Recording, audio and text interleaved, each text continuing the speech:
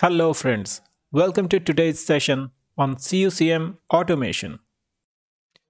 In this session, we will learn how AXL API request is sent. Then in the demo session, I will show you how AXL API request can be sent using the free Postman tool.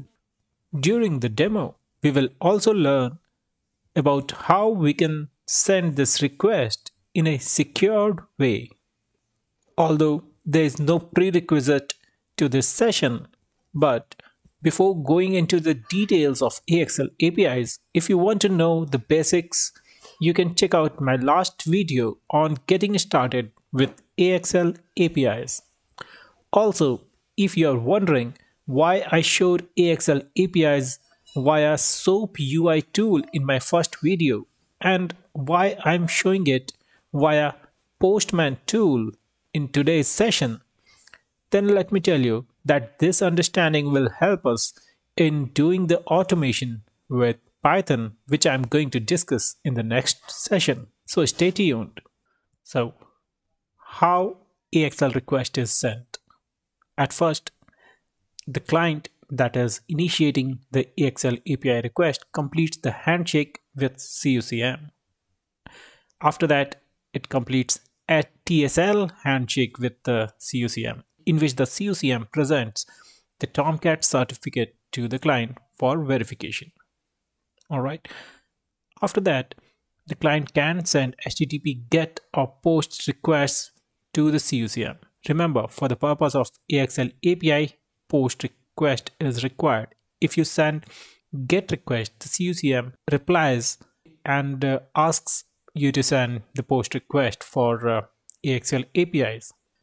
After this, in the initial response of CUCM, we can find two cookies that can be used for authorization of subsequent requests.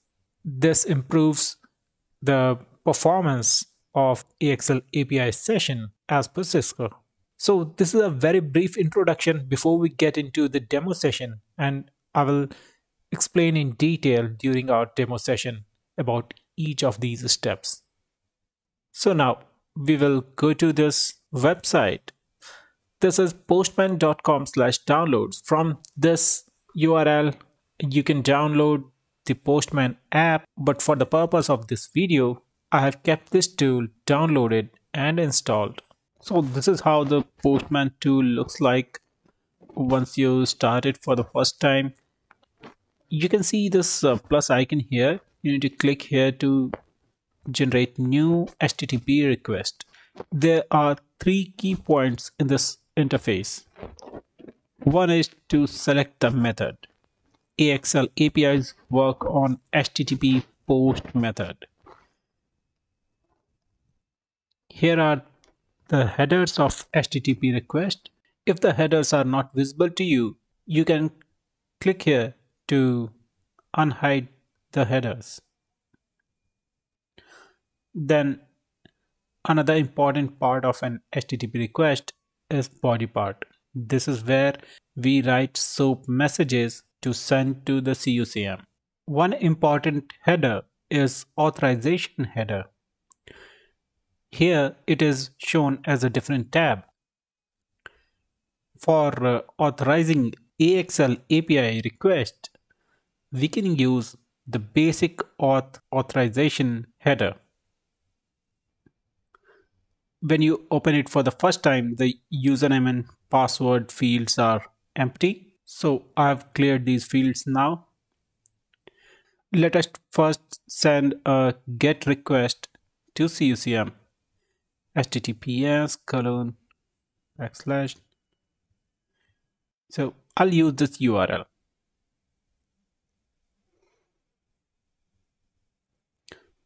So the CUCM replies with an HTML document. For the purpose of this demo, we are interested in AXL requests. So let us put AXL in the address bar and send.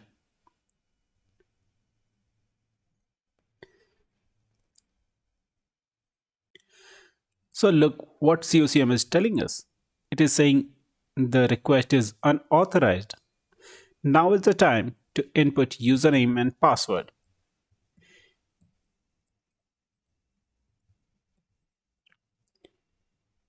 Alright, I've input the authorization username and password. Let's send again. Now, as you can see, we are getting a, a valid response from CUCM. 200 OK. Let's see what CUCM is telling us. AXL web services is working and accepting requests. Use HTTP post to send a request. So it is explicitly telling us not to use GET request for AXL, but use a POST request. An AXL request without any SOAP message in the body will throw an error. Let's see that error. It says 599 network connect timeout. So this this is the error CUCM throws when we send empty request. We need to clearly write the SOAP message here uh, so that CUCM can reply. The best way to write the SOAP message is to use the SOAP UI tool about which I talked in my last video. So here I'm back to SOAP UI tool. In the get CCM version request, I have this request one selected. So I'm going to copy the SOAP request directly from this tool and paste it in Postman. If you are not sure how to use SOAP UI tool with CUCM, I request you to view my first video getting started with AXL APIs. Now that I have copied the SOAP request message, this message is for getting CCM version. So this is the request that I'm going to send to the CUCM. Let's see the reply. As we can see, CUCM has replied with the correct version. Now we learned how to send SOAP request in the Postman tool and get a valid re reply from CUCM. Now let us understand a few more things here. Look at this time. What does it tell? We didn't. It did not uh, do any DNS lookup, obviously because we are using IP address. It completed the TCP handshake it completed SSL handshake and then the request message was transferred and then the reply was downloaded. As of now, a session has been created with the CUCM, an HTTP session, and for the subsequent messages, this time is going to be less. Let's send this request again and see the time. Alright, last time it was 2 seconds, this time 1 second. It is still using TCP, TCP handshake and SSL handshake. This time TCP handshake and SSL handshake was not required because the request was able to use I should I shall say reuse the existing TCP session with the CUCM. Another thing to look at here is this error being displayed. What does it say? It says there is an error with the self-signed certificate. We are using HTTPS to send this request. That means secure transmission. Now, the certificate that CUCM is presenting during SSL handshake that it presented in previous request. Now that is not recognized by Postman client. So it is saying that I don't trust that certificate. Now, these messages are not so secure, right now because the client is not trusting the server. How the request messages are accepted you can see here enable SSL certificate verification is switched off. Let's see what happens when I switch it on. Now uh, the certificate will be validated. as you can see, we are getting SSL error because this Postman tool doesn't trust the certificates of CUCM which has a self-signed certificate. We need to understand how to send secure communication to CUCM while doing automation. So let's resolve this error. We are going to log in to CUCM.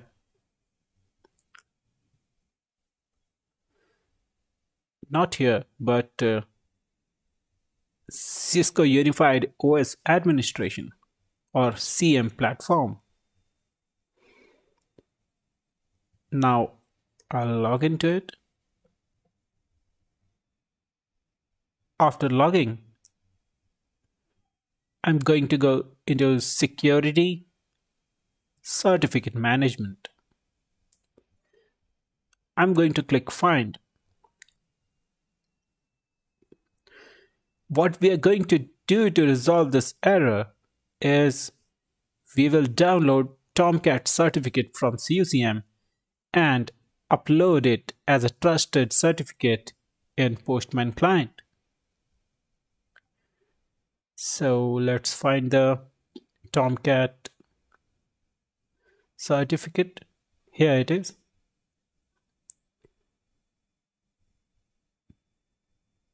All right. download the PEM file. Just save it. I already have it downloaded. Stormcat1 is the new PEM file. Now in the Postman tool, we'll go to File, Settings, Certificates. CA certificate, the file should consist of one or more trusted certificates in PEM format. I'll switch it on. So when you'll do it for the first time, you won't see any PEM file here, uh, just how it is now.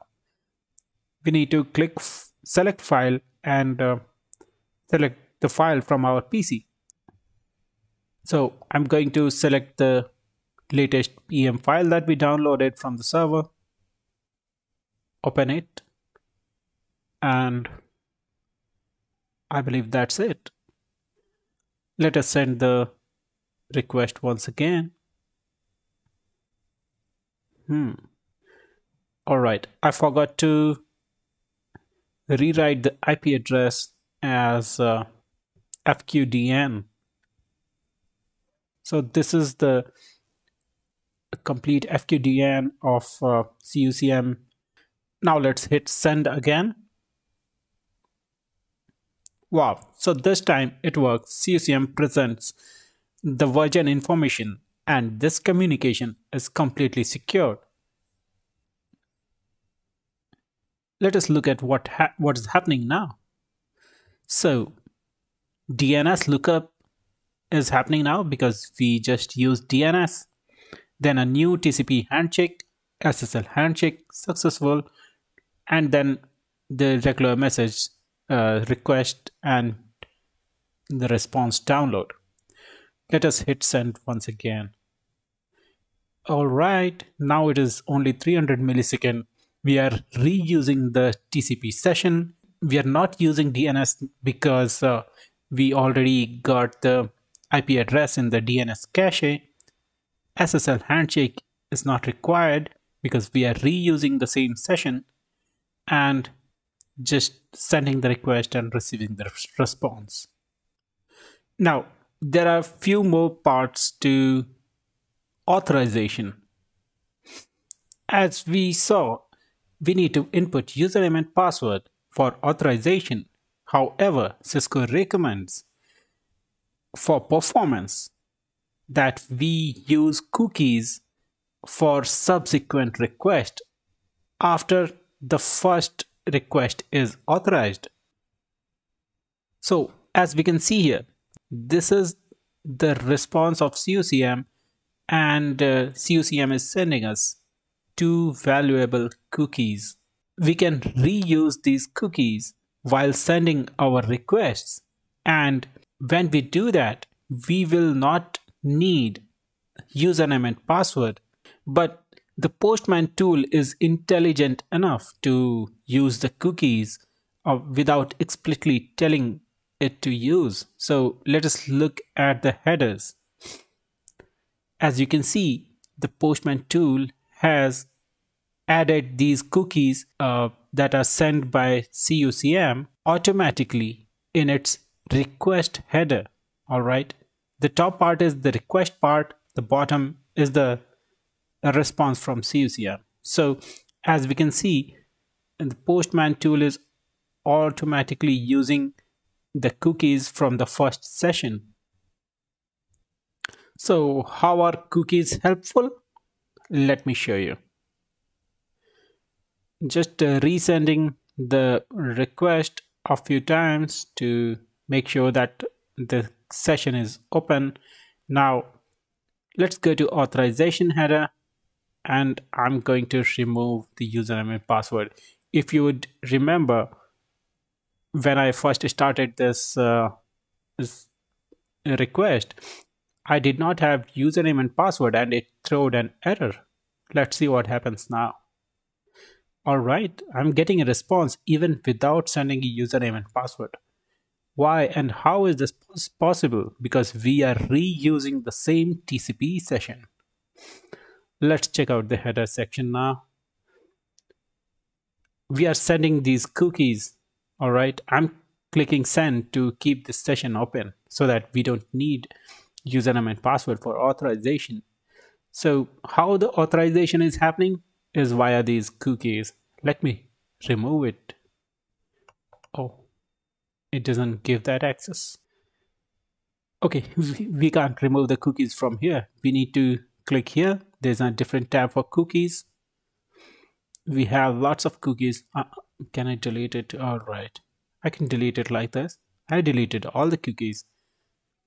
Now let's send the request once again. Look what we found. 401. What is it? 401 unauthorized, forbidden.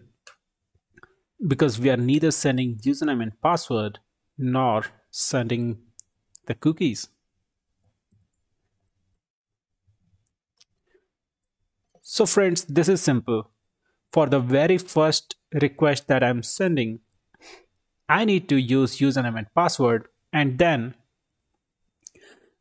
what need to be done is CUCM is sending cookies and we need to use these cookies for the next requests all right our postman tool is doing it by itself so now even if i remove the username and password and send the SOAP uh, request message, we are getting a valid response from CUCM. That's it guys for today's session. I hope you enjoyed learning today and stay tuned. In my next video, I'm going to show you how to send these requests using Python.